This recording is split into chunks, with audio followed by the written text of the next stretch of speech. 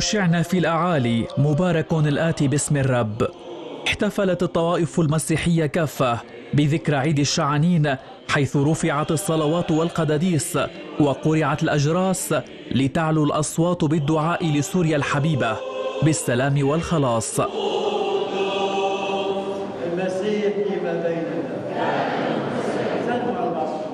ترأس القداس البطريرك غريغوريوس الثالث لحام بطريرك أنطاكيا وسائر المشرق للروم الكاثوليك بمشاركة واسعة.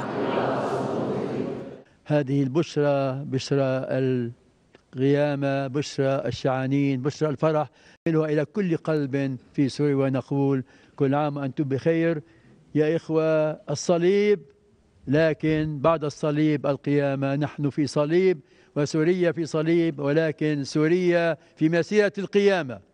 كل عام وأنتم بخير. عاد على الجيش العربي السوري اللي هو الحصن وهو الدرع الوحيد لهذا الوطن. الله يحمي كل عسكري واقف على حاجز أو واقف عم بيدافع على بمنطقة أو عم يعمل أي مداهمة.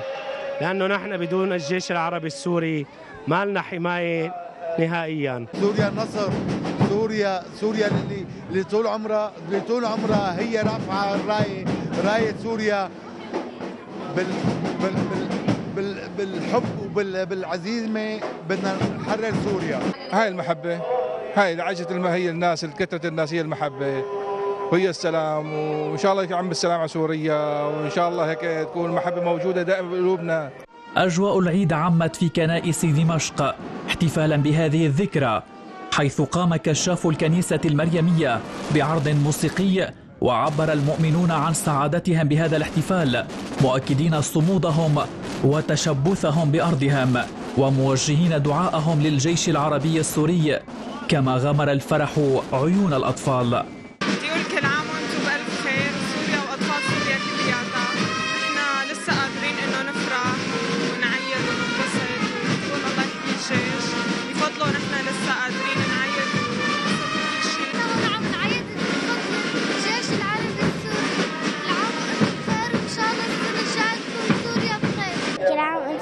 سوريا. إن شاء الله بتخلص الحرب. رغم الظروف تبقى إرادة الحياة أقوى لدى السوريين الواقفين يدا واحدة إلى جانب الجيش العربي السوري حامي الديار